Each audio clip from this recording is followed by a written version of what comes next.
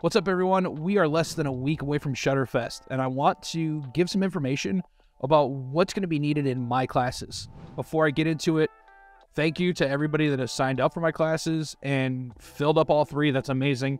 But whether you're taking my creating dramatic portraits, my wedding portraits on the go, or my street portraits that don't suck class, whichever one, you're going to need basically the same thing, and I'm going to go over that with you. Now, with my classes, I teach in a photo walk style.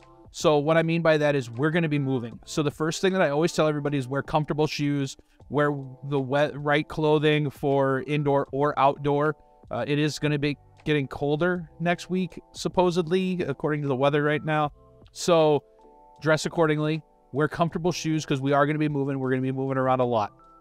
Now, that's covering what you need uh, the other thing you need is your camera, an SD card, a full battery, maybe a second battery, because my classes are not just watching me shoot photos, but I do little breakouts and you actually get to shoot as well. And then I kind of just bounce back and forth between the groups, shooting with each model and making sure everybody's getting the information that they need. Basically, what I do is I show you one example of what I would do.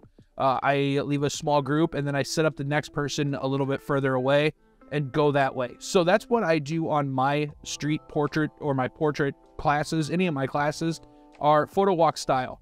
So bring your camera, bring an SD card that has enough room on it, and bring some full batteries. That way you can take some photos. I, last thing I want is you to be out walking around and your battery die and you not capture the banger photos that you want to get. Now, optional, I use Westcott Lighting. I'm sponsored by Westcott Lighting, and I'm going to be using Westcott Lighting. So my main lights that I use are the FJ400s and the FJ200s. Now, with that being said, just because I do OCF off-camera flash doesn't mean you have to. You, I want you to shoot the way that you shoot, the way that you're comfortable. Now, if you're trying to learn portrait photography with OCF or high-speed sync or anything like that, bring what you have. I also will have extra triggers uh, and lights. That way you can try some of my stuff too, and maybe you'll like Westcott and hop on board uh, and check out the Westcott booth while you're there as well. But that's kind of what I'm going to be bringing is I'm going to have some Westcott lights with me, some soft boxes, stuff like that. And I'll let you try that out. I'll let you, you know, like I said, I'll get the settings right. I'll put the sets, the lights where they need to be, and then you can kind of play around with them, move them, throw some gels on them, do some different stuff like that. And that's how I teach my classes. So it's not so much you just watching me, but what I do is I show an example and then I let you shoot and I kind of tell you what I would do to make it a little bit better or, or correct it or look at your composition, something like that.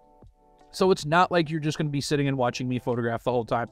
It's not how I teach. I want you to learn. And the other thing that I always say is I don't want you to shoot exactly like me. I don't want you to take everything that I do from this class and, and implement exactly word for word. I just hope that you can find one tidbit of knowledge and uh, put it in your workflow.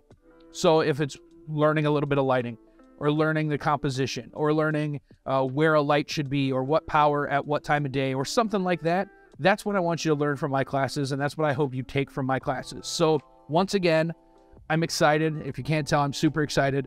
Uh, I'll see you in uh, about six days.